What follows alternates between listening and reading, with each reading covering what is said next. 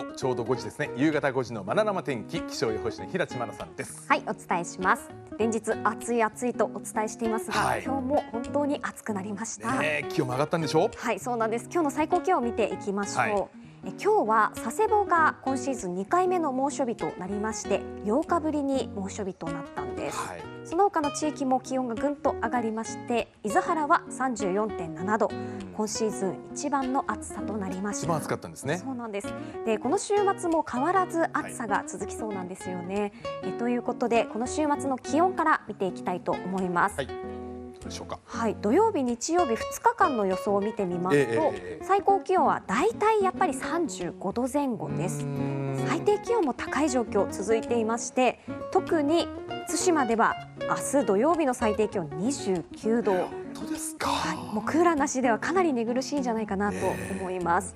また日中の気温もぐっと高くなりそうで、長崎や佐世保では長崎では明日明後日と最高気温が35度を超える予想。はい佐世保では日曜日に35度を超えて36度の予想が出ています。場所によってはもう少し上がるっていうところも予想されますねそうですね。ですので、まあ、この週末も特に熱中症に警戒が必要です。はいそこで手軽に取り入れられる熱中症の対策紹介したいと思います。まずは一つ目、はい手のひらを冷やすということです。はい。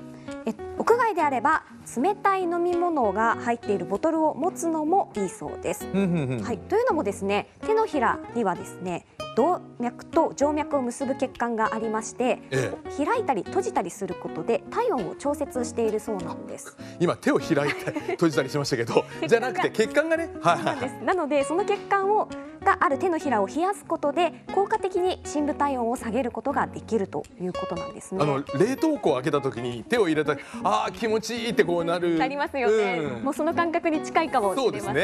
ええええしっかり手のひらを冷やすのもおすすめです。はい。そしてこちらはもう皆さん当たり前じゃないかと思うかもしれませんが、は冷たい飲み物を飲むです。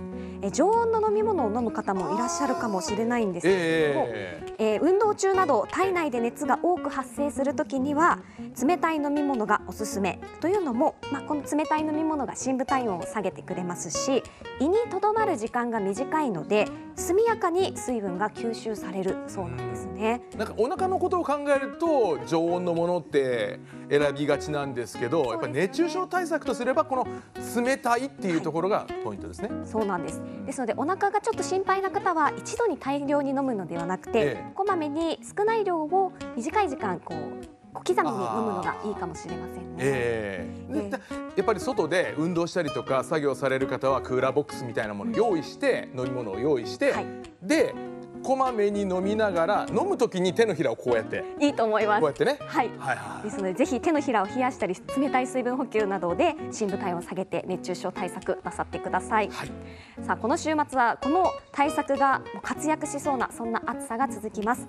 天気図見ていきましょう。はいこちら明日の予想天気図なんですけれども日本の南にちょっとね怪しい低気圧までいかない低圧部と呼ばれる部分がありましてちょっと高気圧がこう勢力としては少し南に離れてしまいます。はい。でその影響でその隙間に湿った空気が流れ込んできそうでえこれまでと違って日中にわか雨の可能性が出てきました。明日の天気見ていきましょう、ただマークで見るとパーッと晴れる予想なんですね、えこれだとですね。そうなんです。ですので、まあ、空模様天気急変に注意が必要かなと思います。特に五島だったり壱岐、対馬そして県の北部ではお昼頃にかけてにわか雨の可能性があります。さーっと降る通り雨に注意をしてください。日中の気温見ていきましょう改めてにはなりますが最低気温は26度から29度最高気温は33度から36度の予想です万全の暑さ対策が必要です。はい、熱中症情報を見ていきましょとう。はい、すべての地点が危険となっています。はいこの先の週間予報を見ていきます。この後もでしょ？そうなんです。もうこの先一体いつ涼しくなるんだろうっていうのを気にされている方もいらっしゃると思いますが、はい。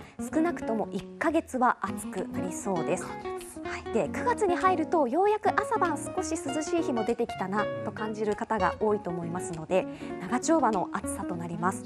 はい、で海の温度もどんどん温められてしまうと、はい。そこを吹いてくる風も結構ぬるくって海から風が吹いているのに暑いなんてもあるかと思います。でそれで逃げ場のない暑さになりますのでしっかりと万全の暑さ対策をしてください。はい。そして日曜日マークにはありませんが午後大気の状態が不安定になりそうです。